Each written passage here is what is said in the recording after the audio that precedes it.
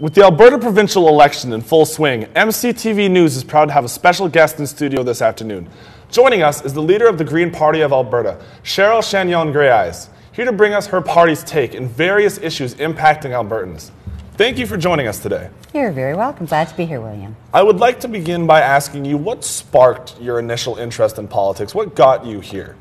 Uh, it was a fluke. I've always been out to save the world. I've been an activist for many, many years, leading marches uh, for missing murdered Indigenous women, for climate change, for injustice, uh, social justice issues. So for me, being active was always part of who I was.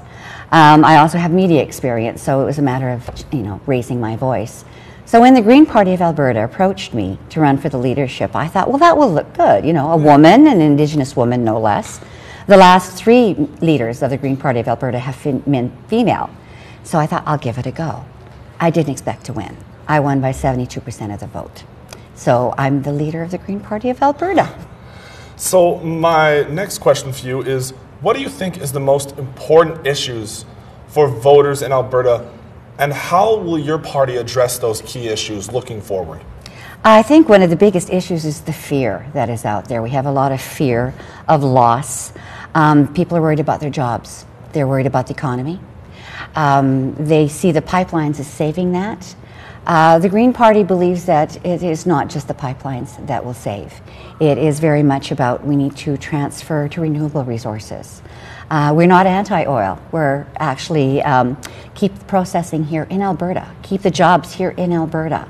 Um, we want the uh, product to be here in the province so that it can become value-added product to make some money for our province. Now, of course, one of the most heavily debated topics of the election has been the carbon tax. What is your party's take on that? What is your guys' stance on that issue?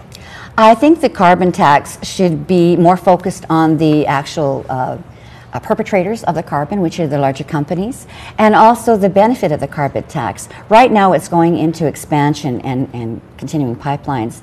The carbon tax should go into the renewables to go into looking at uh, putting in geothermal and solar and wind power and making that transition from a fossil fuel industry to a renewable industry. Right now, the jobs in the renewable industry are starting to outstrip the number of jobs in the oil industry.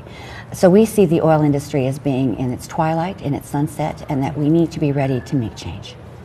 Now, an important balance for every political party is balancing industry while also protecting the environment. How do you guys plan to do that within your platform?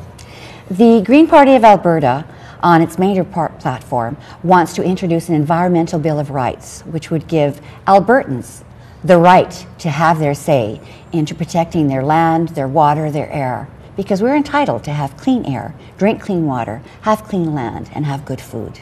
The Environmental Bill of Rights would give the power to the Albertan people, and including calling the government on their responsibilities as well. And before we wrap up this interview, I have a series of rapid fire questions just to allow our viewers to get to know you personally. So I'm just going to go through these rather quickly. Sure. What is your favorite movie of all time? Galaxy Quest. What musician is always in your playlist? Um, it's Elton John. I really do like Elton John. Solid, solid. what is your favorite book? My favorite book is probably, right now I'm reading um, Oil's Deep Impact. So I, I, like to keep up on what things are, are current. What is your go to comfort food? Um, pho, pho soup. When I'm sick, I need my chicken pho soup. If you could go anywhere on the planet, where would you go? I want to go to, um, I'd really like to go to New Zealand. Mm. Um, I'm really impressed with their politics and their people. And for me, they've embraced their Indigenous people in such a good way that it's part and parcel of who the country is. I want to go to New Zealand. And this might be the biggest question here, but Game of Thrones or Avengers? Avengers? I'm, I'm a superhero girl.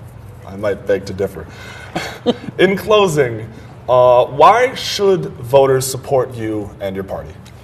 Basically, because we bring another voice that's missing from the conversation. And this may sound wild and crazy, but the voice of common sense, the voice of balance and moderation, the voice of enough. One of the things that we are asking for is to help people out of poverty, guaranteed basic income. We want the lowest common denominator of the people who are um, how would you say, least advantaged in this province to feel as if they are, uh, and to know that they are part and parcel of this province. The growing disparity between the poor and the rich is uh, something that the Green Party wants to address and tackle head on. All right. Well, that is all of our questions today. Thank you so much for joining us in studio. You're welcome. Thank you, William.